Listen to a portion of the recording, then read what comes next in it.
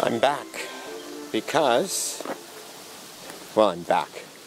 I'm returning to work in the early afternoon because, as you've seen in a couple of other videos, we have a jabali or wild pig or wild boar that has been visiting the boys' pasture every night for huh, four or five nights.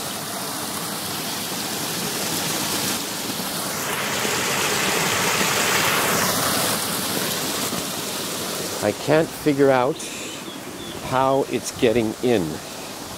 There's evidence, easy evidence, lots of evidence, that he's in the upper pastures. No, not in the upper pastures, sorry, zero, which is up there.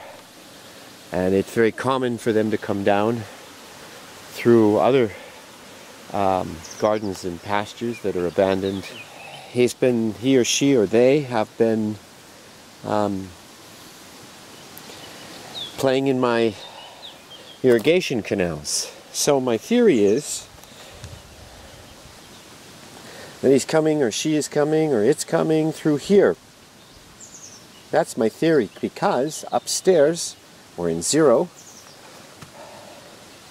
we um, can easily track the path because the grass is tall and you can see the crushed grass as it moves through the pasture and digs stuff up, destroys grassland, and moves on. Here, I'm beginning to think that it's a bath, or a, yeah, bath for the for the animal. So I'm here to, I don't know, it's a guess that he's coming through here, or it's coming through here, or she's coming through here. Sorry, covering all the bases here. Um, so I'm going to block it with some wire. See you on the other side. of course, where I need to work is um, has some stinging nettle. Good thing I brought my gloves. I'll have to pull it out. So my theory, because I can't find any um, crushed grass or pathways through tall ortigas or, or stinging nettle, that he or she or it is coming through a place where they would leave no marks, only the marks in the um, canal system where it seems to dig and bathe and change the direction of my water down here.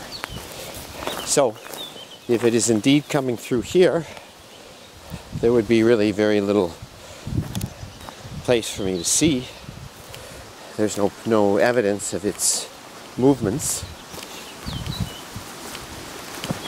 And it plays here.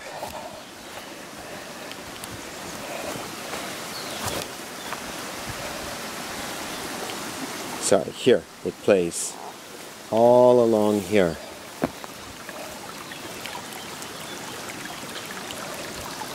Under the tree.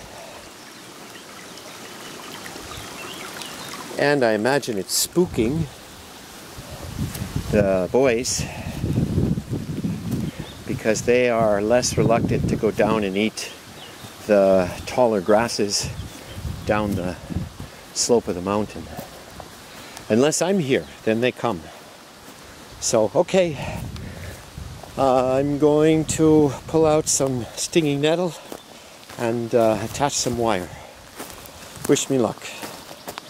Okay, not a great job. I found some barbed wire which I'm hesitant to use because these boys tend to scratch their noses on things. So I might take the barbed wire off. I think maybe I'll take the barbed wire off and put it back on uh, this evening when I come back. I don't know. I'm going to sit with it a while. I sat with it and I took off the barbed wire. And what I did is took a, a stick, a branch uh, from a fruit tree, a guindo, that is a hardwood, and wedged it in underneath these rocks. There you go. And used it as a extra barrier because I was concerned that the pig would just put its head underneath the wire and lift it up and go underneath. That was why I thought my work was um, poor. And it was poor. It is poor. But it's a start. Now this is more secure. Let's see if we can uh, operate the door without tripping over it. That'll be the next issue. Uh, otherwise I have to think about uh, being more, uh, let's say, more intelligent about my placement of the wire because that's just going to put his head underneath and lift it up. So I have to figure out how to prevent it from doing that. Short of putting a, a board, which is what Elena suggested. Okay, I'm satisfied for the moment.